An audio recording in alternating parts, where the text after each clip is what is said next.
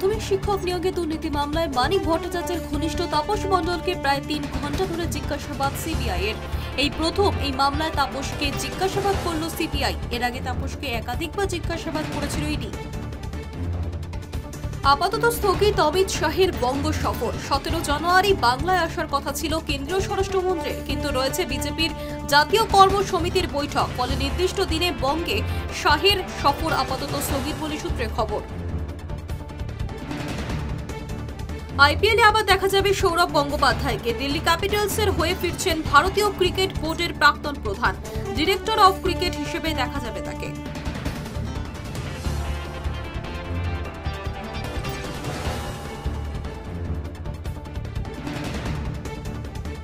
কাঁথির tender দুর্নীতি মামলায় শুভেন্দু অধিকারীর বিরুদ্ধে কড়া পদক্ষেপ করতে পারবে না পুলিশ। নির্দেশ কলকাতা হাইকোর্টের বিচারপতি রাজাশেখর মান্থার।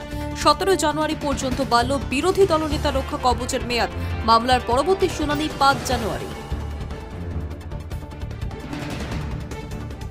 তৃণমূল নেতাদের উত্তম মধ্যম দেওয়া নিদান নিয়ে বিতর্কে কেন্দ্রীয় প্রতিমন্ত্রী সুভাষ সরকার। বললেন, আবাস যোজনা নিয়ে মিথ্যে বলে তৃণমূল নেতাদের উত্তম মধ্যম দিয়ে গ্রাম থেকে বিতাড়িত করুন। দাবি করলেন সিবিআই তদন্তের।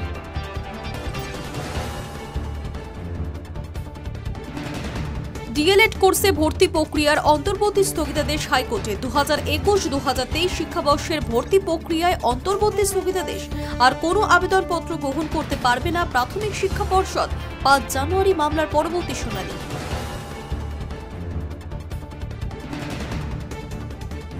ববিতার থেকে বেশি নম্বর পেয়েছেন অনামিকা রায়। এসএসসির ভুলে চাকরি নিয়ে টানা পড়েন। এসএসসি দুর্নীতি সামনে এসেছিল ববিতা সরকারের নামে। এবার তার চাকরি নিয়েও প্রশ্নের মুখে। ফের কলকাতায় লক্ষ লক্ষ টাকা উদ্ধার। বড়বাজার থানা ঢিল ঢিলছড়া দূরত্বে বিপুল টাকার হদিশ। এসটিএফ এবং গোয়েন্দা বিভাগে যৌথ অভিযানে কলকাতায় বড়বাজার এলাকা থেকে প্রায় উনষাট লক্ষ টাকা উদ্ধার হয়েছে। ঘটনায় গ্রেপ্তার নয় জন বছরের শুরুতেই সংগীত জগতে নক্ষত্র পতন প্রয়াত রবীন্দ্রসঙ্গীত শিল্পী সুমিত্রা সেন বয়স হয়েছিল উননব্বই বছর। বেশ কিছুদিন ধরেই অসুস্থ ছিলেন তিনি। সোমবারই হাসপাতাল থেকে বাড়িতে আনা হয় তাকে মঙ্গলবার ভোর সাড়ে চারটে নাগাদ দক্ষিণ কলকাতার নিজের বাড়িতেই প্রয়াত হয়েছেন তিনি।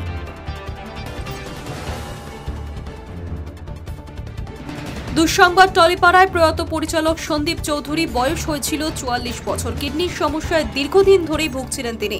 শেষ পর্যন্ত তিন জানুয়ারি মঙ্গলবার শেষ নিঃশ্বাস ত্যাগ করেছেন সন্দীপ চৌধুরী। পরিচালকের আকস্মিক প্রয়াণে শোকস্তব্ধ পরিবার, শোকস্তব্ধ গোটা স্টুডিও পাড়া।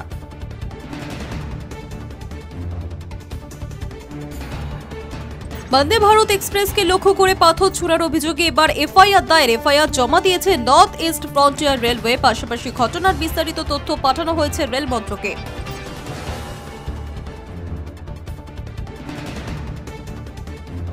বন্দে ভারত এক্সপ্রেসকে লক্ষ্য করে পাথর ছোড়ার ঘটনায় শুরু হয়েছে রাজনৈতিক চাপানোতর। জাতীয় সম্পত্তি নষ্ট করা, ইট মারা এই অরাজকতা সমর্থন করে না দল। পুলিশের উচিত দোষীদের খুঁজে বার করে শাস্তি দেওয়া। মন্তব্য ফিরহাদ হাকিমের।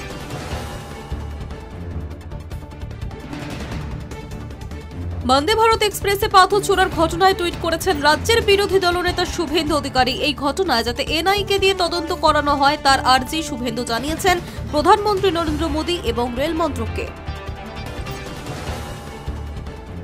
বিজেপি দল ছাড়লেন উত্তর মালদার সাংগঠনিক জেলার সাধারণ সম্পাদক সৌমিত্র রায়। মালদার বসিয়ার নেতা হিসেবে পরিচিত সৌমিত্র রায় মঙ্গলবার হোয়াটসঅ্যাপের মাধ্যমে দলের উত্তর মালদার সাংগঠনিক সভাপতির উজ্জ্বল দত্তের কাছে বিজেপি ছাড়া লিখিত বার্তা দিয়েছেন।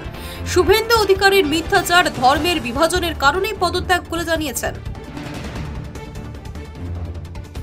অবৈধভাবে বিদেশি মদ বিক্রির অভিযোগে সোমবার রাতভর নয়া গ্রামের বিভিন্ন এলাকায় অভিযান চালিয়ে কয়েক লক্ষ টাকার বিদেশি মদ উদ্ধার। পুলিশ সূত্রে আরও খবর, নয়াগ্রাম ব্লকের বিভিন্ন জায়গায় অভিযান চালিয়ে মোট চারশো একুশটি বোতল বিদেশি মদ উদ্ধার হয়েছে। ঘটনার তদন্তে পুলিশ।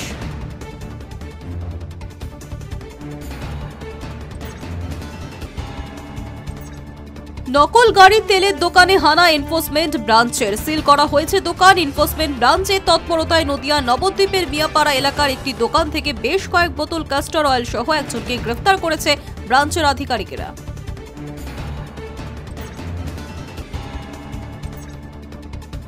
বন্ধুদের সঙ্গে ফুটবল খেলতে গিয়ে মাথায় বলের চোট পেয়ে মৃত্যু হলো এগারো বছরের এক বালকের হাবিবপুর থানার আস্তর গ্রাম এলাকার ঘটনা। মৃতদেহটি উদ্ধার করে ময়নাতদন্তের জন্য মালদা মেডিকেল কলেজের মর্গে পাঠানো হয়েছে।